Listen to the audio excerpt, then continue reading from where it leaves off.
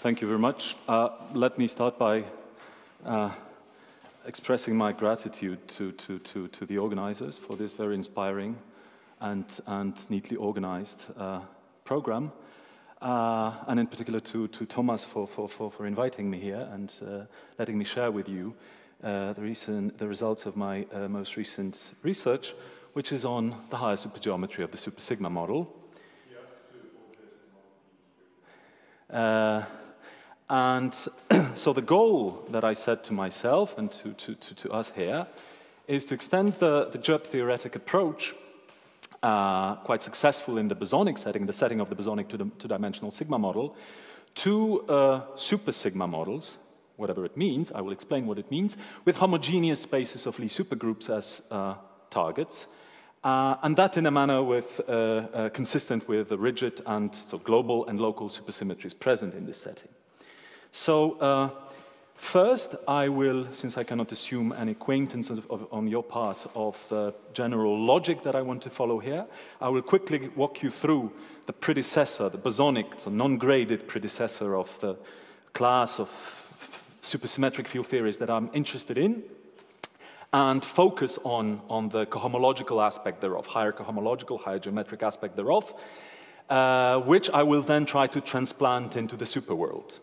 And then in the superworld, we'll go gently uh, assembling all the, all the pieces that are needed to even write down the, the, the, the field theory I'm interested in, and then discuss its, its higher geometry. Okay, so what is there to learn from, uh, from the bosonic field theory? uh, the way I want to learn it and invite you to, to, to, to, to, to look at. So let me focus on a field theory uh, uh, uh with closed orientable two-dimensional spacetimes, Uh, compact. Uh, these I will call the world sheets. Uh, and with the space of internal degrees of freedom, so the space of fields, given by a metric manifold, uh, M, Mg, which I call the target space, in what follows, and a three form, which I assume to be closed. And now the theory that I have in mind is that of mappings, so smooth maps from sigma to m, the, uh, with critical points or classical field configurations determined by the principle of least action for the following Dirac-Feynman amplitude given, uh, written in terms of an action functional. By writing things in terms of, uh, by, by putting the Dirac-Feynman amplitude here, I'm emphasizing the very issue that I'd be interested in, so the higher geometric, higher cohomological aspects of this here topological Wess-Zumino term, which makes the theory that of minimal embeddings, minimal in the sense of the induced metric, but distorted by Lorentz-type forces sourced by, sourced by this, by, the, by this uh, three form. Well, these field theories find an application in many fields of uh, mathematical and theoretical physics. Uh, to say that it finds an application in, in uh, Lagrangian uh, modeling of critical string theory might be a bit controversial nowadays. So let me just say that these are also, uh, I mean, as motivation, uh, but these are also effective field theories of a sector of collective excitations of spin chains, as described by Haldane, Affleck, Fradkin, so you see, the problem is that this field theory is classically uh, reparametrization invariant, and we'd like to keep this property uh, in the quantum, uh, uh, in, uh, under quantization, as it organizes neatly the structure of the Hilbert space of the theory. And that implies constraints that we have to put on elements of the background, so G and H.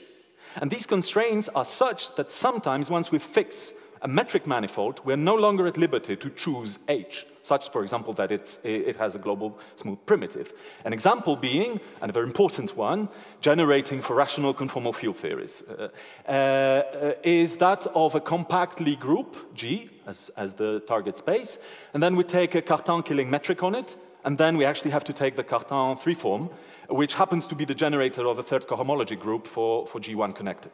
And then we basically don't have a smooth, smooth, uh, smooth primitive for H, but quantum mechanics asks us to compare uh, trajectories, coordinate trajectories, which, whose, whose uh, topology may make it, may make it uh, impossible to find a global primitive uh, for H uh, to be pulled back to the world sheet by, by the embedding map. And then we have to deal with that. So we have to make sense of this topological term, And the, uh, it turns out that the way to make sense of that is to, to, to, to uh, recognize in the exponentiated term a Cheeger-Simons differential character, that name appeared before in Pavel's uh, uh talk, uh, which is basically what it, what it is. It's, it's, it's, uh, it's a, abelian group homomorphism from, from the group of, of two cycles in M into U1.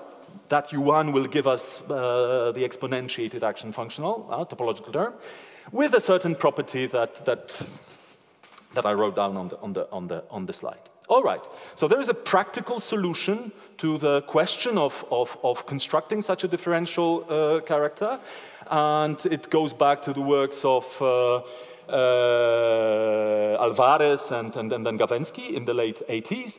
namely, what you do is, uh, well, your field equations are uh, of second order, so your manifold, uh, your target space has to be C2. And for C2, uh, you have Weil de Rham, which means that there are good open covers. If there are good open covers, meaning uh, non-empty intersections uh, of, of their elements are contractible, and you can apply the Poincare lemma, then you can basically trivialize H3 locally in, in chief, well, in Čech, uh, Čech de Rham cohomology, which is what you do, which is what you would do uh, if you were to discuss the propagation of a massive point like massive charged probe in external gravitational electromagnetic fields. And there, the, the higher geometry that you would obtain uh, uh, would be that of a, of, a, of a line bundle over the target space. Here, it's something well, even higher, so to say.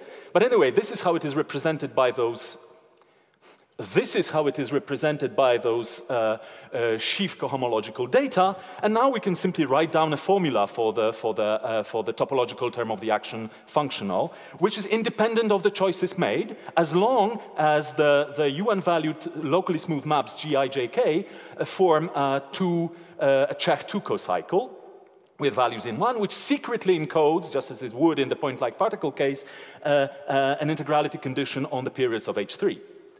Okay, there is then the higher geometry behind the scene, and I have written it, I will refer to such objects as Murray diagrams in what follows, because indeed the geometrization was proposed by Murray in 94 and then elaborated by Murray and his student Stevenson in 99.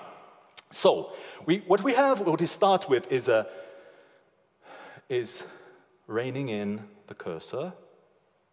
Oh boy. Uh, maybe it's, I shouldn't be so, ah, I shouldn't be so polite. It's okay, good. So we have this manifold M on which there is a three form, and we erect a, a, a surjective submersion, the, the Stichwort surjective submersions, that will be omnipresent. So we erect a surjective submersion over M on which there is supposed to be, thank you. That's friends.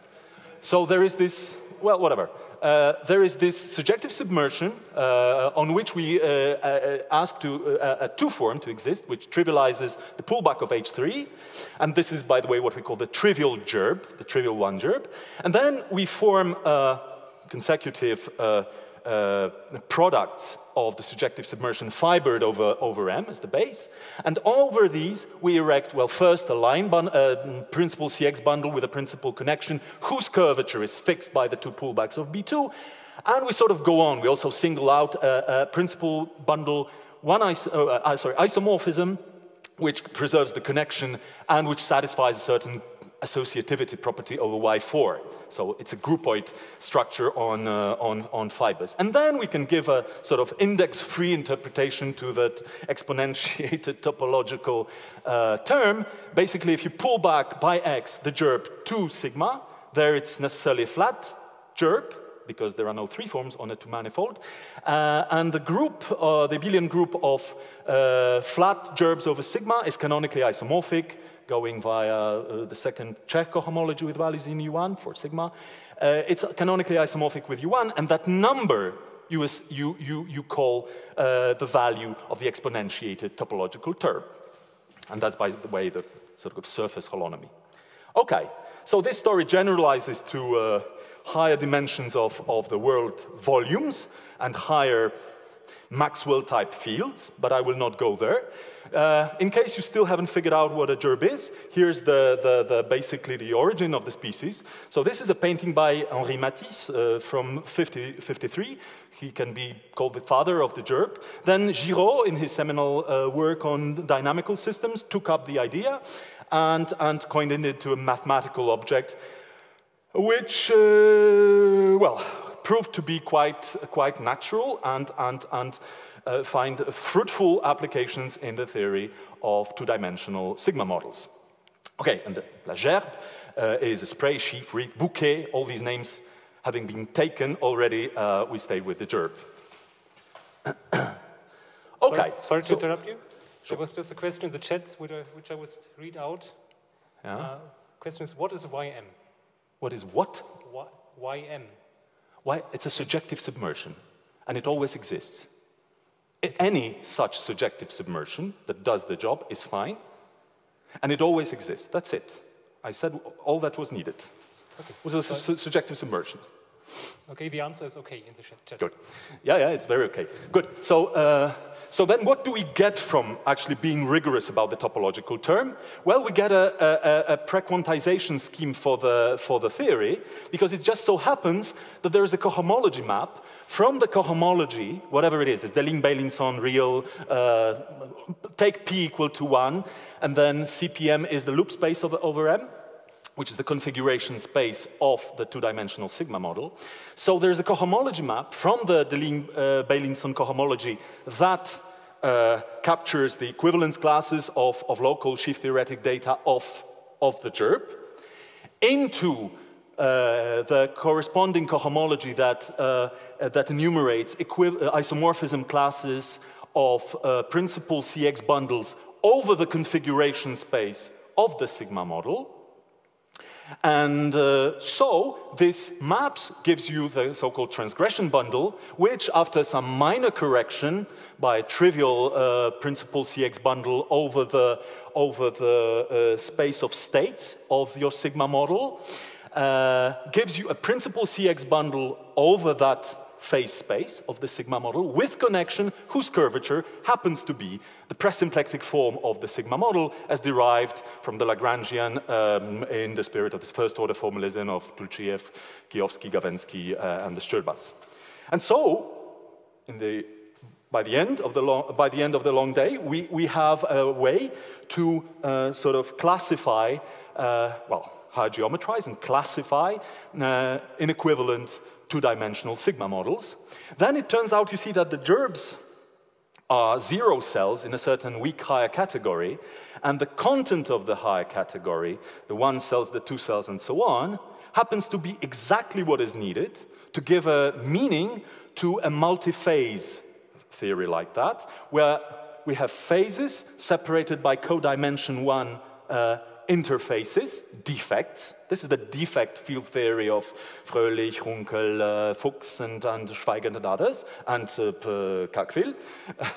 Uh, so, uh, so we have phases sitting on, on, uh, on uh, patches of the world sheet, separated by intersection defects. The interse uh, sorry, separa separated by defects. These defects intersect, and you, all, you need geometric, high geometric data to pull back to the, to the phases these are the gerbes, then interfaces, these are the so-called gerbe bimodules, and then intersections of higher and higher order.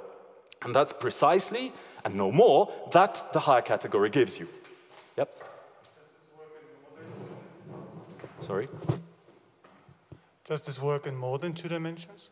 Uh, well, it's a general rule. So the way we, we derived it with Ingo, uh, how you need the bimodules, well, that was actually derived by Fuchs and, and, and, and, and collaborators. But, uh, but how you need the two isomorphism of the gerbe uh, bicategory for the, for the intersections in the two-dimensional uh, setting, it's completely, uh, it's algorithmic almost. I mean, there is, there is no room for anything else in higher dimensions. Basically, you would have, you would have say, two-dimensional faces in Chern-Simons, to which you would pull uh, two gerbe bimodules, and then they would intersect along lines uh, for which you would have uh, secondary isomorphisms. I don't, I don't want to go into the, the, the terminology too much, but, but the general idea is the same always. You need. So there's, for example, a class of four-dimensional. Well, there is no class of examples. what I'm saying is that how you, what you need for those structures is precisely what sits in this higher category. Thanks. Okay. And so, so, uh, so you see, there is, a, there is a correspondence between defects and, uh, well, very special ones, topological ones, and um, uh, field theory dualities. Uh, and among those dualities, we find self-dualities of a field theory, so it's, uh, it's symmetries, basically. And I want to focus on configurational symmetries, uh, and you see, when lifting the symmetries to the higher geometry that I'm, uh, that I'm, that I'm describing right now, we uh, obtain a subcategory of symmetries which I would call quantizable or pre-quantizable, strictly speaking, because it's a pre-quantum bundle that the gerbe gives us. We still have to choose a polarization. Okay, so what are these? Well, these come from lifting these come from actions of, of subgroups of the isometry group of the target space uh, which have a very special property, namely they're generalized Hamiltonian for, for H2, meaning if I take a, if I take a fundamental vector field uh, induced by the action of the group, and I contract it with H, H now I restored P. Uh, so it's not just P equal to 1, but you can always think of P equal to 1 as a model example. So uh, if I contract the, the, the fundamental vector field with H, it's supposed to be exact. Uh, this is what I need for the symmetry to be the symmetry of the, the, the, the, the two the, the p dimensional, p plus one dimensional sigma model. Uh, and so altogether, you see, what I get is a pair, a section of the tangent bundle over M, and a section over uh, of the pth exterior power of the cotangent bundle, so a, a, section of a generalized tangent bundle of type 1p, Hitchin's type, right? And on these, we have a natural bracket namely uh, what I at some point called the twisted Vinogradov bracket. Well, for p equal to 1, it's just a Courant bracket, uh, twisted a la Ševera and, and Weinstein, but, Weinstein uh, by, uh, by H3. Uh, and it happens to close on these symmetric sections. It will recur. It's a rifle, it's a Chekhov's rifle that will fire later on. So I'm not putting this structure here for nothing. Okay, so what can we do with these symmetries? Well, we can do two things. First off, First of all, we can simply consider them as global symmetries of the theory, which set in correspondence uh, field, in equivalent field configurations. The correspondent is, is that basically the action functional takes the same value on these. And the way we higher geometrize them is, uh, so make them prequantizable, is associate with them uh, families, indexed by the, the, the, the, symmetry group acting, families of uh, gerbe isomorphisms, okay? One isomorphisms. gerbes are, uh, so isomorphisms are described by uh, themselves by, uh, in the lowest case, p equal to one, by bundles. So then there are secondary isomor secondary morphisms in this bicategory. But let me no, not go there. Just, I'm just saying that the way you high geometrize global symmetries is by lifting them to uh, one isomorphisms of the gerbe that you associate with the sigma model. well, as I said, that, that's, a, that's a Murray diagram for this, for this symmetry. So basically we take, what, well, maybe I should explain it at least once. So what we take is a surjective submersion of the gerbe to the left, the pullback by the group action, the surjective submersion of the gerbe to the right. I take a fiber product over M, and and request that there be a principal CX bundle with connection over this guy, with the curvature of the connection fixed by the difference of the two curvings, these are called curvings for the gerbe, and then some extra structure. But anyway, this is a, a, a bundle that I need. Another thing that we may do upon identifying global symmetries, and this is about model building, so mapping the moduli space of field theories here, uh, is gauging them. So gauging basically means that we want to think of certain uh, field configurations as actually equivalent, uh, but being described in different ways. Uh, and so gauging means that we secretly want to pass from the target space M as the, the space of internal degrees of freedom to the, to, to the target space M mod G sigma, to the orbit space. The problem being that this orbit space may fall out of the smooth category, and then we should think of gauging as modeling a theory on the orbit space by a theory with the target space M. Okay, so uh, there is a principle that organizes this gauging. This is the principle of descent, worked out by Gawędzki, Waldorf, and myself in 2010. And it basically states that the, this higher category of, of uh, uh, gerbes on the orbit space if the orbit space is actually a quotient manifold, for which I assume that the action is free and proper, for example, then this category is equivalent to the category of those gerbes on M which carry an extra structure, and this is, not surprisingly, an equivariant structure, but not any equivariant structure, but the so-called flat equivariant or descendable equivariant structure. Now, I don't want to bore you with the details here. Let me just say that an equivariant structure is a collection of those, of, well, it's a zero cell on M, then a one cell, so one isomorphism on the arrow manifold of the action groupoid here, and then a, a secondary isomorphism on then we sort of move along the nerve of the action groupoid. And we have a, a, a two cell of G cross G cross M and so on until we find a P plus one uh, isomorphism. The point being that the, that the one isomorphism with, with, with which we start gives us rho lambda, which we want to play with. And so if this, if this, if this correction is flat, if this, if this correction uh, vanishes, then we have descent which will happen later on in the supergeometric context. But if it doesn't, and generically it doesn't, so we have a gerbe, and it has, if we are dealing with a global symmetry that we want to gauge, it just has some rho, and you have to live with it. Still, you can gauge if uh, you can gauge if the following conditions are satisfied. Well, first of all, you have to kill the so-called small gauge anomaly, which, uh, well, the way, you, the way you proceed is basically minimally couple uh, a, principal, um, a principal connection on a principal uh, G sigma bundle over the world sheet. And you have to take uh, representatives of all ISO classes, because these secretly correspond to different twisted sectors of the, of the theory. Uh, and then uh, killing the small gauge anomaly means, can be phrased algebraically as demanding that those sections of the generalized tangent bundle, uh, their functional linear span should not only close uh, uh, under, the, under this twisted Vinogradov bracket, but it should actually, actually define a Lie algebroid. And then if it defines a Lie algebroid, it's not any Lie algebroid, but it's the, the tangent Lie algebroid of the action groupoid that we came across uh, beforehand. And then this is the small gauge anomaly, which basically means that if you couple minimally A, uh, you get a theory which is invariant under gauge transformations from the connected component of, of the identity. But then you have to take care of the large gauge transformations, and this is where the equivariant structure kicks in. If you have it, you can gauge it. If you, if you don't, you cannot. All right? And now there's a beautiful physical way to understand uh, uh, an equivariant structure.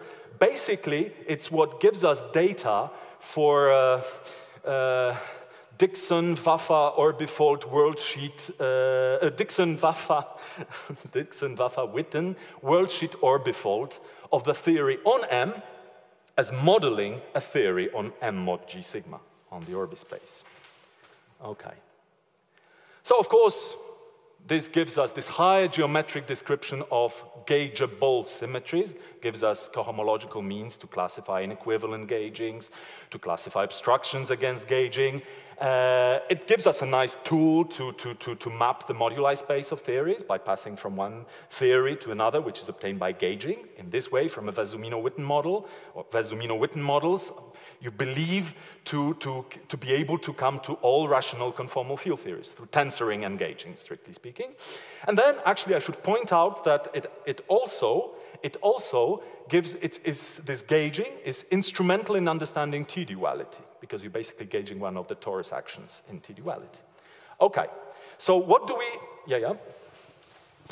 On the previous slide, could you give a very brief answer to the question, what is your best reason to believe that you get all RCFTs this way? No, no, no. It's, well, it's not a question. It's, sort of, it's not, it's not the, the, the, the moment to, to ask that question. It's a, it's a, I think it's a folklore belief that you can get all, uh, going back to Gepner, that you can, uh, you can get all uh, rational conformal field theories by tensoring gauged uh, Wess-Zumino-Witten models. And I, I have nothing to add to that folklore statement. Okay, thanks. Okay, so what you learn from, uh, from, from this whole story, higher geometry of the sigma model, is this.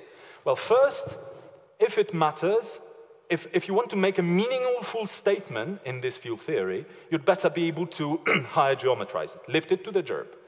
And in particular, if you want to make a statement about global symmetries, It should correspond to those families of one isomorphisms of the gerbe indexed by the group acting, by the symmetry group. And if it's a local configurational symmetry, because there are also non-configurational symmetries that like reparametrization invariance, right?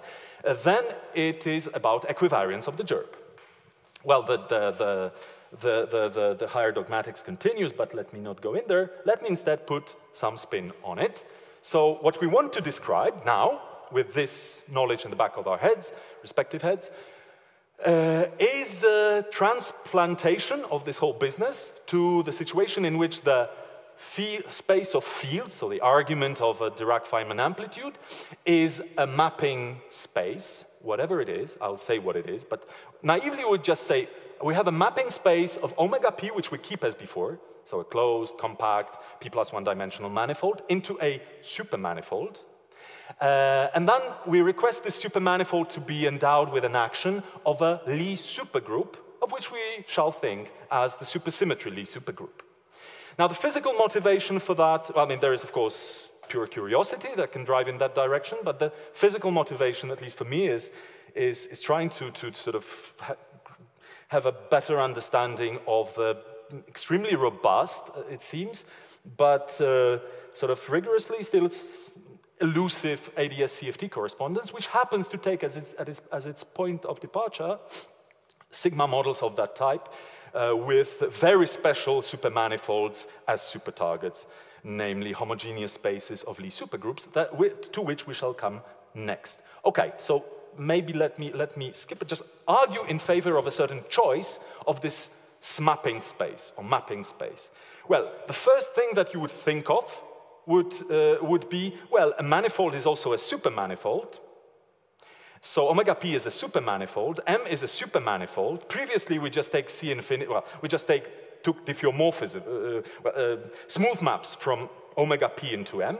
Let's just take uh, supermanifold morphisms. But you see, supermanifold morphisms are uh, have a sheaf component which, is a, which, which has to be a, a homomorphism of uh, the supercommutative superalgebras uh, uh, that, are, mm, that are attached to opens in, in a topological base, this being the definition of a supermanifold, locally modeled on, on a superspace, which is a supermanifold of this sort. And so, when you do it naively, you will never probe the oddity in M because of the non-oddity of omega p. By just looking at a local coordinate uh, description of, of a supermanifold morphism in a situation where omega p has no theta 1, so no odd coordinates on it, you will see that you, you're just getting functions into the so-called body of M and this is not something you're interested in. So you have to refine the definition, well, you have to get the definition right, and that was gotten right by Freed in 1995, 1995. So he proposed that we think of omega p, uh, comma m as the inner Hom functor from uh, omega p into m, which basically means that you have to augment omega p with some odd fuzz. So, uh, so that you probe the oddity in m. So basically you take this to be a functor, the, you, you, take omega pm to, to, this mapping space to be this functor, to be evaluated, to be evaluated on these odd hyperplanes. So then, whatever field theory I, I choose to define in what follows will be basically a family of field theories, standard field theories, or actually super field theories, uh, labeled by this n, but packaged nicely. Okay, so uh, let me now so we have dealt preliminarily with the supergeometry that we want to play with, but now we want to put supersymmetry in, the, in, in this setting.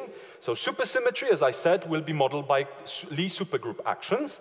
So let us deal with these. I could be just mean and say that Lie supergroups are group objects in the category of supermanifolds, which means that you uh, take the axioms defining a group, uh, the, the diagrams, and you put them in the category of supermanifolds. So the nodes are, are, are, uh, are supermanifolds.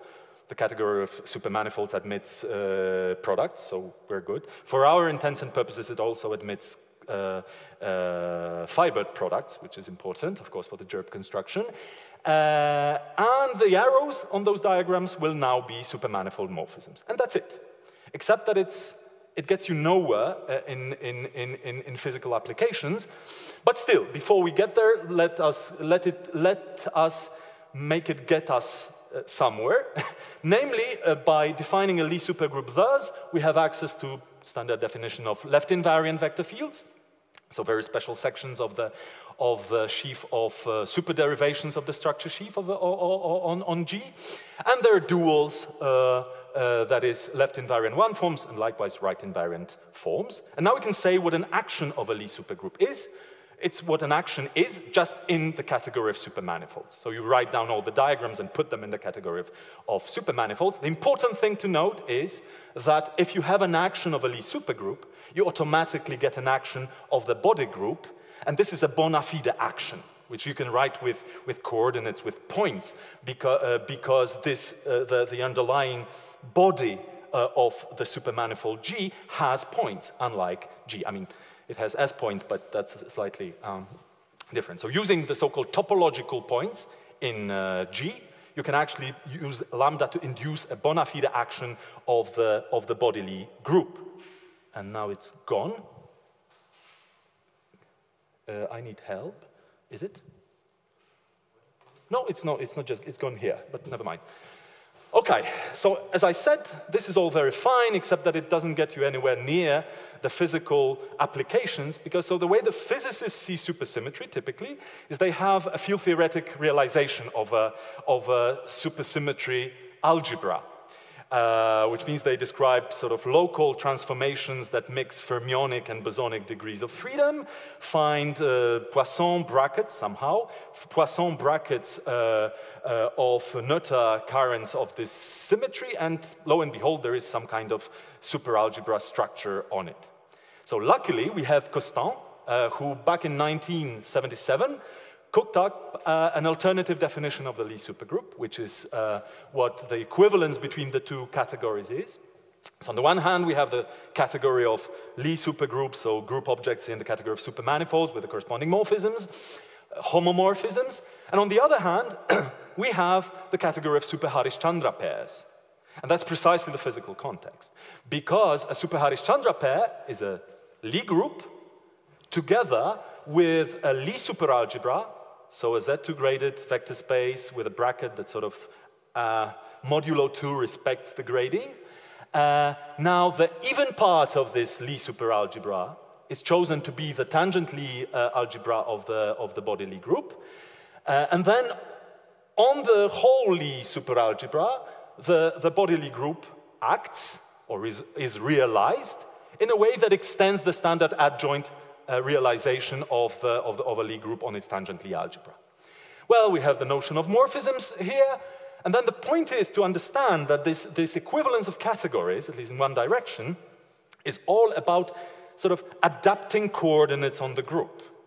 Because what Kostant is telling us is to take as the structure sheaf of the supermanifold that you want to produce from this super Harish-Chandra pair, the, the set of homomorphisms in the category of uh, modules of the universal enveloping algebra of the even part between the universal enveloping algebra of the Lie superalgebra into the space of smooth functions on the body group. So if you look at, uh, there are, so if you study this, the structure of this Hopf superalgebra, by the way, which is necessary to, to, to introduce mu inverse and, and, and, the, and the unit, then you realize that this is actually sort of these are the, the, the, standard coordinates on the, on the group. So you have the odd coordinates as duals of, of the guys in here, and then the standard functions on the bodily group. So it's just an adaptation of a coordinate system, so to say. Okay. so an example of a Lie supergroup that admits both descriptions, a supermanifold description and a super-Harish-Chandra pair description, is the super-Minkowski. So what you have is the supermanifold here with, uh, with uh, I'm just giving sheaf, uh, uh, sheaf components of the multiplication map and the inverse map. And since you, see, since you have global generators of the structure sheaf in Super-Minkowski, then you can actually go to the S-point picture and just write human, uh, human formulae for, for the binary operation, which look very familiar from, from probably from supersymmetry field theory courses. Uh, And then you can also describe this object as a super Harish-Chandra pair. So you take Minkowski as the, the, the, the Lie group as the, as the, as the body group, uh, as the body, sorry. And then you, you take the standard uh, Lie superalgebra of super translations, which is what you would in any physics course call the supersymmetry, so to say. So supercharges anti-commute to translations. This is the signal of, of, of super, supersymmetry that is, that is uh, typically taken a long way in, in, in, in conclusions. Okay, let me skip another example, though it's might important because, because that's, kind, that's, the, that's the Lie super, super group uh, relevant to the construction of the Metsaev-Tseytlin model of superstring on, on ADS5 crosses 5 superized. The only difference here is that you basically you see the super, the anti-commutator of supercharges here uh, gets uh, receives so it's it's translations and rotations, and you have curvature here basically in this model. So translations no longer commute. But okay, well, and to the best of my knowledge, this doesn't admit a hands-on description into, uh, as a supermanifold. Uh, as with most, uh, as with most super targets uh, in this field of uh, mathematical physics. Okay, so now you may slowly get in the direction of a super sigma model. So I'll now say what a, what a Nambu-Goto super background is. So we have a super manifold on which a Lie supergroup acts, uh, and in such a way that the two tensors that come, uh, come uh, along, namely a kind of a metric, it's degenerate in the odd directions, but still, a metric on M, and, uh, and a de Rham cocycle are invariant under this action. That's the starting point. Now we'll zoom in on specific supermanifolds. Namely, it is customary in, in, in this, this domain of, of, of uh, mathematical physics to look at full uh, uh, orbits of the supersymmetry group. So a full orbit is equivalently isomorphic with a homogeneous space. And that's what I want to talk about next. Uh, and in fact, I'll need a very sort of hands-on description of these guys, which was not uh, available back in the times of Kostant and Koszul, uh, even though they actually proposed to, to, to, to, talk about homogeneous spaces of Lie supergroups already back in 1977. The problem is that they used this super Harish-Chandra uh, language, and it made things kind of obscure. Uh, simple notions such as, a, such as a, a, homogeneous space of a Lie supergroup looked uh, preposterously obscure, needlessly so, I would say, because at the time when Fioresi, Carmeli, Fioresi, and Varadarajan came, came, came over and looked at those homogeneous spaces, it turned out that the, the situation is, resembles the non-graded one fully, in that there is a unique structure of a supermanifold on uh, mod H, which is uh, sort of, it's, it's, a, it's a sheaf over, uh, of, of superalgebras, the structure sheaf over a body which is just the, the, the, the, the homogeneous space of the respective bodies, well, very natural. The sheaf is something you would expect it to be, so you just take over open superdomains in Gmod H, you take, uh, well, you, you take functions on their pre-images under the projection, canonical projection, that consist of functions that are right invariant under, under the group you're, you're, you're projecting out. That's what you would think of in the first place. Now, the point is that there is a unique such structure for which P, uh, sorry, pi is, uh, is a surjective submersion, and uh, along which the, the standard left, left regular action of the Lie supergroup on itself descends to the homogeneous space.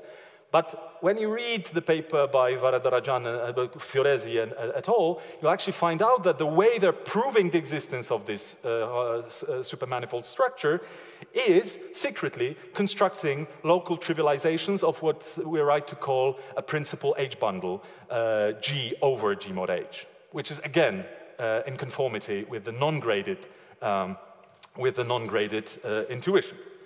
Okay, so now we have set up the scene for the geometry of the sigma model, but we want dynamics, we want derivatives. So we need extra constraints to be imposed on, on the homogeneous space in order to be able to construct a, a, a model of dynamical fields on G mod H. And those extra, uh, extra uh, assumptions that we have to impose here have to do with the tangent uh, calculus, uh, on, on G. Namely, we ask that the decomposition of the Lie superalgebra of the, of the supersymmetry Lie group uh, induced by H, so into H and the direct sum component, is reductive, which means that T is a H ad module. That's what it is. Why is that important? Well, because following with uh, first Weinberg, uh, Salam, uh, Callan, then Isham and others, we'd like to induce uh, a field theory on G mod H from tensorial objects automatically left invariant, so supersymmetric, that live on G. And the way we do it is, if we look at the G-valued left invariant Maurer-Cartan uh, one form on G, it splits, with respect to this splitting, into the part which is a connection, a principal H connection on this bundle that I described, G over G mod H, and, and a bunch of, well, row, which means add, adjoint tensors of, of, uh, of, of H. Why is that important? Well, you see, because if I now uh, take tensor products of these one forms along T, uh, and take us as uh, coefficients of a linear combination, uh, add H invariant tensors, then I have an object which by definition is left invariant, supersymmetry invariant, which is uh, by construction, I'm just using the muse, so it's H horizontal, and I just put it such that it's also H invariant, so it's H basic, so it descends. Okay, so now what I want to do, um, we're zooming in here, what I want to do is, I now want to, I, wa I want the physics to play on the, on the, so I want to realize G mod H by those local trivializing sections of the bundle G over G mod H. And then on these, I want to take those very specific tensors, a metric, namely, and a p plus one p plus 2 cocycle, de Rham cocycle, and th these are the ingredients of my field theory. okay, so there are examples of such structures like Minkowski. On Minkowski, you have a metric. Uh, uh, you just take the Minkowskian metric and, and, and, and, and, put it on the, on the Lie superalgebra, but, but it's degenerate in the, in the odd directions. And you have a bunch of, of, of uh, P plus 2 cocycles, which are relevant to the super sigma models I want to discuss.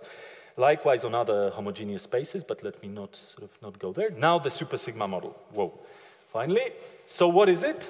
It's, we take a closed and orientable manifold, omega p, uh, of dimension p plus 1, a Lie supergroup, supersymmetry group, and a, well, a closed subgroup of its body, then by Cartan it's, it's, it's a Lie subgroup, uh, such that the corresponding pair G, H is reductive, that's for dynamics. Assume given a pair of tensors, descendable tensors, on G, and then the Green-Schwarz super sigma model in the Nambu-Goto formulation is a theory of smappings. We know what these are, those functorial smappings, uh, determined by the following action, by the principle of least action for the following action functional. Boring. Boring. Because it's just sort of minimal sembeddings, whoever uses silly, but basically it's what it is. It's minimal sembeddings uh, distorted by uh, Lorentz type, whatever, forces. Except that nice things are beginning to happen because, well, first of all, you realize that what these objects are are those minimal hypersurfaces in, in the supermanifold, morally. Uh, and once you choose one such hypersurface, so a vacuum, classical vacuum of the theory, a spontaneous breakdown of symmetry occurs. So since we're sitting on G, we have this invisible gauge group H. Everything has to be H equivariant. So H gets reduced to H vac because we have a, a, so a subgroup of H which preserves the vacuum, point one. Point two, you see, as we, as we localize the vacuum in, in, in, in, in uh, G, modeling G mod H, then some of some translations locally are no longer symmetries of the vacuum. They, got, they get uh, broken. And we have this mechanism of transmission of translational symmetry to the odd sector. So we need a mechanism that freezes out some of the fermions in the vacuum. And this puts us in the context of this uh, enigmatic kappa symmetry of de Azcárraga, Lukierski, and Siegel, which I'm not defining here because I want to define it properly later on by passing to a dual super sigma model. But anyway, it's, uh, I still, re I read this statement from, from NLab just today, and it still says a hidden symmetry with no evident geometric interpretation. We'll try to uh, break the spell here. Okay, so there are lots of models uh, like that, super sigma models with this general, that fit into this general framework.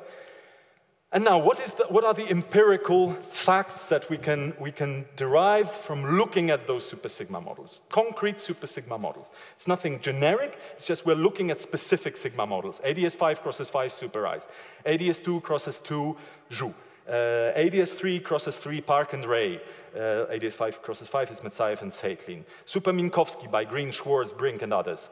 what do we see? We see that two, two scenarios may, may uh, unfold. In one, the p plus 2 cocycle, uh, let, let, me just call it chi because it's terrible to say p plus 2 all the time. So chi will typically be trivial in the de Rham cohomology, but it will be non-trivial in the Cartan-Eilenberg cohomology. So the supersymmetry, supersymmetrically refined de Rham cohomology. And that, after all, is the cohomology we have to deal with. And the reason why this is altogether possible is that Cartan-Eilenberg no longer applies because uh, supersymmetry groups are inherently non-compact. So the two cohomologies are not, uh, are not uh, uh the invariant and the, the, the standard de are not uh, a priori equivalent, right? Uh, now for superstrings on, on those curved models, we see that although the, the co-cycles proposed by Metsaev, Tseytlin, Park-Rey, and, and Zhou are, are, are trivial in the Cartan-Eilenberg cohomology, but the problem is that the primitives do not asymptote to the super-Minkowskian counterparts. And the models are constructed on the basis of the asymptotic correspondence with the Green-Schwarz models on super-Minkowski. So something's wrong. Okay. So, uh, well, I said what the problems are, sort of never mind the, the, the, the Inonu-Wigner problem, but the, the first thing is that, well, we are in, a, in the same situation as in the ungraded uh, geometric uh, setting, because we have, we have to choose the Cartan-Eilenberg cohomology rather than de Rham as the, as, as, as the thing we look at. And if we look at this uh, cohomology, then the forms are closed but not exact. So we like to geometrize them. Except that what exactly does it mean to geometrize the discrepancy between de Rham and supersymmetric de Rham? It seems uh, nonsensical until you look at a, at a, at a paper from mid-80s by Rabin and Crane. So Rabin had worked with Kostelecký on uh, supersymmetric lattice gauge field theories, and there they came across a discrete subgroup of the, of the Super-Minkowski uh, Lie supergroup, uh, which they found interesting. Uh, the, the, the, the, story of this, of this discrete subgroup, this is a subgroup generated by integral uh, uh, odd translations uh, in a representation, in a Majorana representation of the Minkowski, uh, Minkowski Clifford algebra with integer um, coefficients of the, of the gamma matrices, basically. It's very technical, but the point is that it, it has a very specific description. And now the story of this sub supergroup is this. If you look at forms on Minkowski, which are inv left invariant under this, under this uh, group, then these are left invariant Super-Minkowski left invariant forms, you drop none, and it's only these guys. Which means, and that's the proposal of Rabin and Crane, that if you were to think of the sigma model as secretly describing a, a field theory on an orbifold of the original supermanifold by a discrete subgroup of the supersymmetry group with the property that in the orbifold, the new homology cycles that you get are dual to precisely those, those uh, cohomology cocycles on the big manifold uh, that, uh, that you find that are Rham trivial, but Cartan-Eilenberg non-trivial. Then, then uh, you should, well, so first of all, this, this orbifold is a geometrization of the discrepancy between Cartan, Eilenberg, and de Rham, and it motivates us to actually do, the Murray, do Murray's job. So higher geometrize the cocycles, which we shall do, uh, which we shall do next. Now, actually, these orbifolds were constructed in a hands-on manner by Rabin and Crane. These are just, and the, the point to note is that they have compact, some, compact, uh, some compact uh, even directions, which is not terribly um, exciting, but they also have compact odd directions. What does it mean? We want to pass to the, to the orbifold. In field theory, passing to the orbifold is the same as gauging. But gauging means that on top of considering what is gauging? Well, uh, first of all, you bind together field configurations which are related by global group action of the group that you're gauging. Second of all, you have to introduce new field configurations, the twisted sector, which are patchwise smooth, so they, they're not good in the mother theory, but when you pass to the quotient, they become smooth, because the jumps in those patchwise uh, smooth configurations are controlled by the action of the group that you're gauging. That's the twisted sector. That's the equivariant structure, by the way. So, but what does it mean? So, how are we to make sense of this proposal by Rabin and Crane? Well, we should look uh, at, at uh, um, uh, Poisson-Lie algebra of, of supersymmetry, of, of charges of supersymmetry in the sigma model, and just allow for monodromies of the odd coordinates. Well, odd and even, but. And what we find are wrapping anomalies. And it just so happens, by the way, omega sigma is, de is derived in the same uh, first order formalism by Tulczyjew, Gawędzki, and, and, and, uh, and others.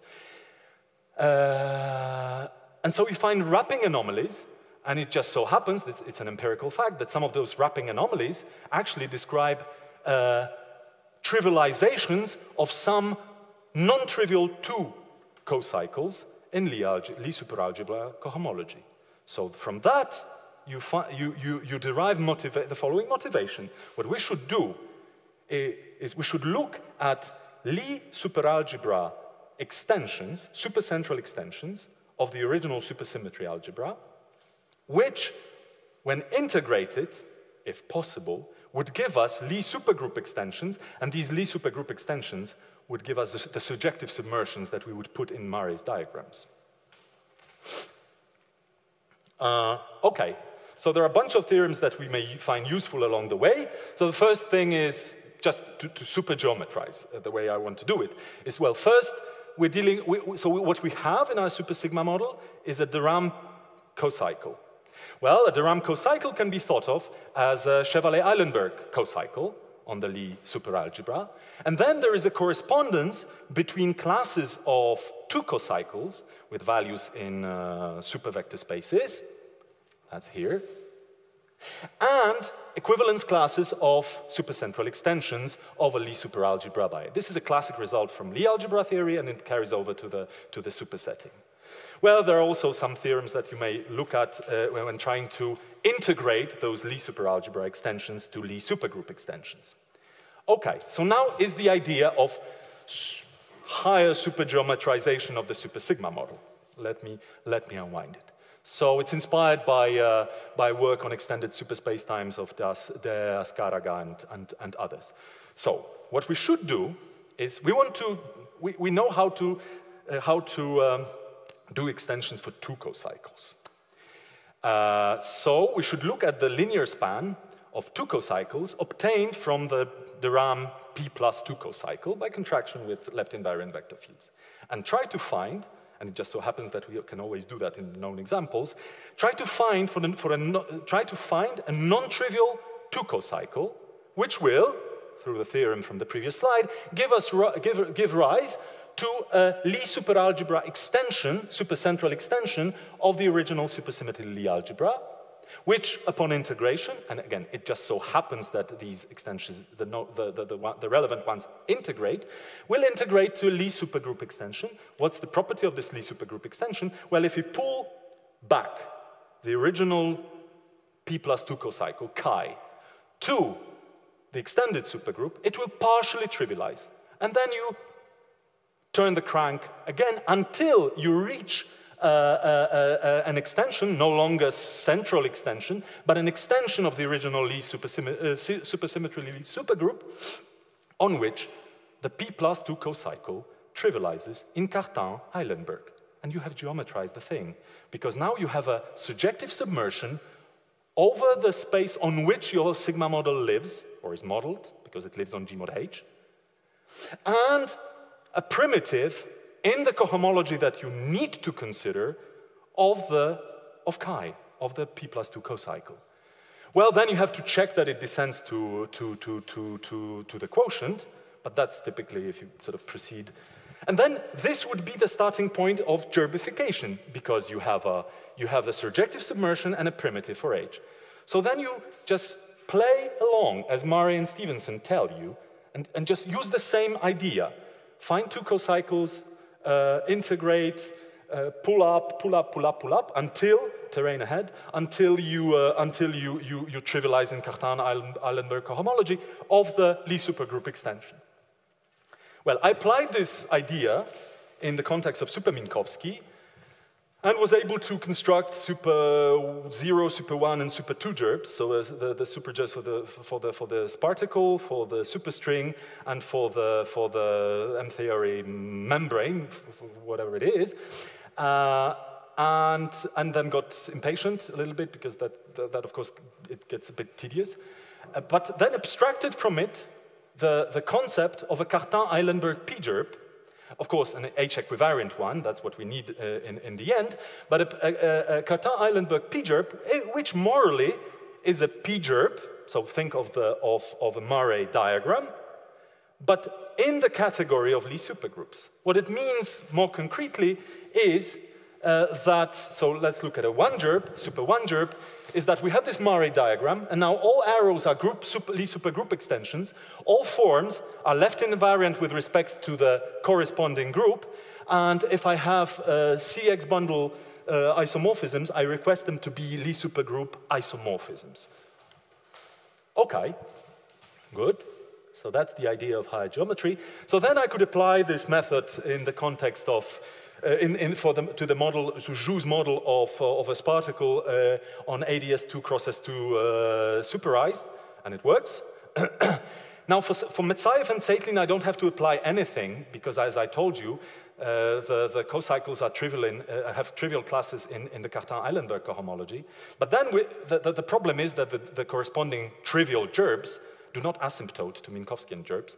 So this suggests that something might be wrong with the Metsaev-Tseytlin model or Park-Rey for that matter, but I won't go in there. So now we have, we have like, so we have discussed the supergeometry.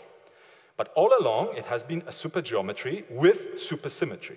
So we have hired the supergeometric side. What about hiring the, the supersymmetry? So what about an emanation realization, high geometric realization of supersymmetry? Well, as I previously pointed out, there are several layers here. So first there is global supersymmetry, but that's just built in because we're, we're safely set in the Lie supergroup category. So global supersymmetry is trivial here. We have this hidden gauge symmetry, which we know how to implement because that's, that's just in the world of gerbes, H equivariant structure. And in fact, if we do the extensions in a, in a wise way, so if the extensions are also extensions in the category of H modules, then it's also automatic, this H equivariant structure. But we're left with one last thing to describe, namely the spontaneous breakdown of supersymmetry. The problem, so I, I just suggested that there is some kind of local, some kind of local supersymmetry, this kappa symmetry, that does the job, that, that freezes out the, the unwanted uh, fermionic degrees of freedom. The problem with this supersymmetry, though, is that it mixes the metric and the gerbe degrees of freedom. So there is no way to higher geometrize it. Well, but if you cannot change, if you cannot change the nature of the symmetry, change the nature of the model in which you see it. And there come Hughes and Polchinski. So what Hughes and Polchinski did, or so they say, because I cannot really find it in their paper, but so they say, is they proposed the following. Choose an algebraic model for the, for the body of the vacuum. So P one dimensional subspace in the in T0. Okay? Uh, good. Now, this selects a sub-algebra in H which, which, just add stabilizes this, this, this subspace. Uh, and this comes from a subgroup which will be the isotropy group of the vacuum. Well, since we want to build a sigma model, you know by now that we want to assume reductivity. Happily, in all models known, uh, reductivity obtains. So we assume reductivity of this new uh, splitting into HVAC and the rest. Okay, then we have a technical assumption of unimodularity of the action of HVAC on the vacuum, but that's sort of technical, I don't want to go there. And then what we should do, we, we should replace G mod H as the target space by G mod HVAC. And of course, this will be modeled in, in, in, in G by local sections. Then we have our old chi. It descends to, to G mod, mod HVAC because it descended to G mod H. And then we add the volume on the vacuum. Just the volume form on T0. It, you might think that it's a drastic move to select where the volume sits in the supermanifold, but remember that the, by the end of the day, we descend to G mod H. And if you act from the right by H, say you selected theta 0, theta 1 through theta p, when you act from the right, these are add tensors, so they get rotated. So it's no drastic move downstairs. And now we have a new background in which you will have noted there is no metric we are getting a purely topological field theory with, as yet, no relation to the, to the previous one. so, here's the Hughes-Polchinski model. We just take it to be defined by this p plus 2 cocycle, which is the odd p plus 2 cocycle plus the exterior derivative of the volume form. Well, it's purely topological. In fact, it's reducible to a point, which is even cooler. And now comes the duality statement. So the duality statement is the following. Sort of never mind this technical, uh, technical uh, assumption, which is sort of can be relaxed. But if I now have a, a metric on T0 such that this the, T0 splits uh, add H invariantly and orthogonally into the vacuum and the, and the complement, then the two models are equivalent, as long as in the Hughes-Polchinski model, we restrict to those field configurations whose tangents live in a certain superdistribution in G, namely the one defined by these equations, which are the so-called inverse Higgs constraints. But first of all, these are geometric constraints. Second of all, these are actually Euler-Lagrange equations of the Hughes-Polchinski model. So nothing strange. There is no external information uh, put into, into our analysis. And now I'm slowly sailing for the, for the making it for, for, for, the, for, the, for the shore here. The importance of this dual field theory is that it's topological, and in it, everything inside geometrizes. So the field equations are just to define a super distribution in G such that the tangents of the embeddings should live in this super distribution. And now you may ask, uh, so, aha. And then you see, I wanted to impose, I wanted to freeze out the unwanted fermions. I can just do it by insisting that the, some of the Euler-Lagrange equations of this model are such that they actually select uh, a subspace in, uh, in, the, in the odd, in the odd uh, component of the Lie superalgebra, which is precisely the subspace that corresponds to T0 vac which is where the vacuum was, was, was localized. And then we, I can ask about geometric consistency of the vacuum. Since the vacuum is, is modeled by a superdistribution, the consistency means, well, I want a, super, a, a sub-supermanifold. I want a vacuum submanifold in my, in, my, in my target space, but that means that the superdistribution should be involutive. And the superdistribution has an algebraic model, so this means that a certain Lie superalgebra should sit in the original Lie superalgebra of, of, of symmetries. And then, that's the kappa symmetry that I want to finish with. And then you see, I look at this correspondence superdistribution, restrict my fields to, to live in this correspondence superdistribution, and there I see the emergence of an, an enhancement of gauge symmetry. Well, there is an obvious thing. HVAC gets enhanced by D. well, the theory is dual to, to something which has H as a gauge symmetry, so not surprisingly. But then I also have, well, I have a non-generic part, and the generic part is an odd superdistribution, which is a gauge symmetry. Then I'm starting to look at its weak derived flag, because if it's to be a, a, a, a gauge symmetry, I should start taking supercommutators, because it, I, I, should get some orbits of this gauge symmetry. As I take the, the weak derived flag, I get immediately kicked out of, of the symmetry distribution. So I have to restrict further, and I look at the vacuum superdistribution, which I assume integrable. And then it turns out that kappa, that, sorry, this part, bracket generates the vacuum, which is what I meant by reducibility of this topological field theory to a point. Its flows envelop the vacuum. And hence I called this, this thing the square root of the, of the vacuum. It has this model superalgebra, and now I may request the existence of an equivariant structure. And that I will do uh, on the last slide. So I have a gerbe and no more. I have the original gerbe. I have a trivial gerbe associated with a volume form. I tensor the two together. And now I put it on those sections modeling G Gmod HVAC, restrict to the vacuum manifold, and there since I have just discovered uh, a gauge symmetry of the vacuum, I want an equivariant structure. But before I start looking for it, let me just make a leap of faith. If this gauge symmetry actually generates the vacuum by its flows, then, and putting an equivariant structure on the gerbe means that I'm descending the gerbe to the orbit space, then this gerbe should be equivalently isomorphic to a gerbe on the orbit space, but the, gerbe, but the orbit space is a point. So what should the gerbe be isomorphic with? There's only one gerbe uh, over a point, the trivial flat gerbe. And so I postulated earlier this year that this is what happens, what qualifies kappa symmetry. What is a kappa symmetry is the super, super distribution that bracket generates the vacuum on which, and that's the higher geometric picture, the extended gerbe trivializes. I checked it for Super-Minkowski. Yeah, it does. So it doesn't, a priori, it wouldn't have to trivialize. I, I would just need the equivariant structure. I have more. I have a trivialization of the gerbe. And now I have a super algebraic description of, of vacua in super sigma models because these are just certain Lie subsuperalgebras uh, uh, which sort of, well, extensions, so Murray diagrams in the category of Lie super, Lie uh, superalgebras, which are over the Lie superalgebra embedding of the vacuum Lie superalgebra in the original supersymmetry Lie superalgebra. And I end here. Thank you very much. I'm terribly so well, I'm not.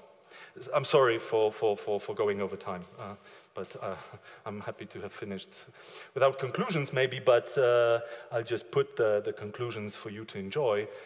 Uh, maybe even um, more than the fact that it's ended. Thank you very much for your, for your, for your uh, patience. Mm, thank you.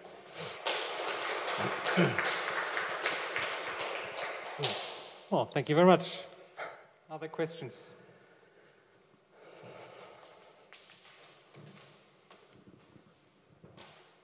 Thanks. I, I couldn't follow quite all the details in the last few slides. Mm -hmm. uh, mm-hmm. when you first said that it's reducible to the point, yeah. I thought that this was your way of saying extendable to the point. Yeah, I, I was sort of playing with the words because I, I, would have to have a working knowledge of what you just said in order to, to, to take off the, the, the, the, the inverted commas. But the point is you see that the whole, the whole information, in a sense, and quantum mechanically, I mean the gerbe, is in a point, because the whole point can be generated through this kappa symmetry, through the flows of this kappa symmetry superdistribution. Uh, uh, the, the, whole vacuum can be generated from a point. And this actually gets, has a high geometric uh, emanation, namely the gerbe uh, trivializes to, to the gerbe over a point. So uh, that, that's my that's what I meant by it. Of course, sort of, yeah. So how naive is it to expect that it's really fully extendable because um, the bulk theory is described or emanates from a point, which seems very fully dualizable? Well, I, I, cannot, I cannot comment technically beyond what I sort of I finished the, the computation for the for the Super-Minkowskian gerbe only last week. So uh, I, I, think uh, it's it's a valid question, but I have nothing to uh, to, to to add to what I what I just said. Sorry. Thanks. hey, thank you. Is there maybe one quick online question? Uh, I got one. Um, may I? Sure, go ahead.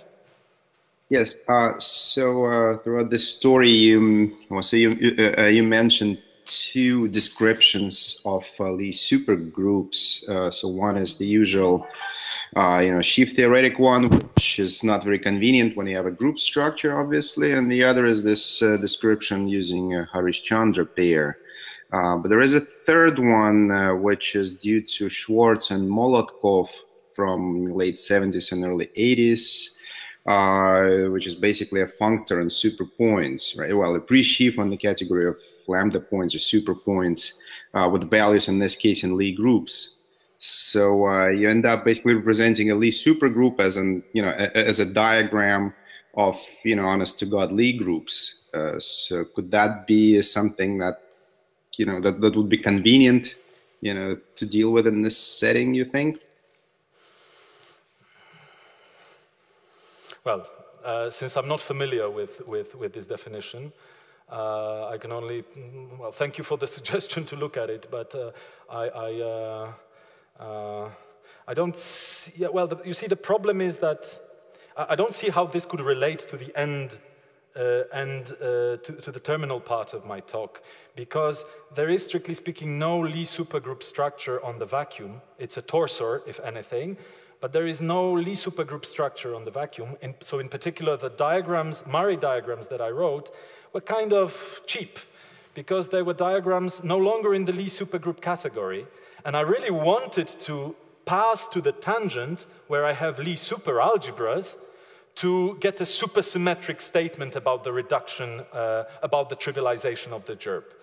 But uh, so Lie supergroups won't help here the way I see it. Uh, in this terminal part of my, of my story. Mm, but still, I'm, I'm not excluding the, the, the, possibility that sort of shifting the paradigm altogether would, would uh, help, as it helped by going from the original Nambu-Goto formulation to the topological, purely topological Hughes-Polchinski formulation. So thanks for the, for the suggestion. Okay. Thank you.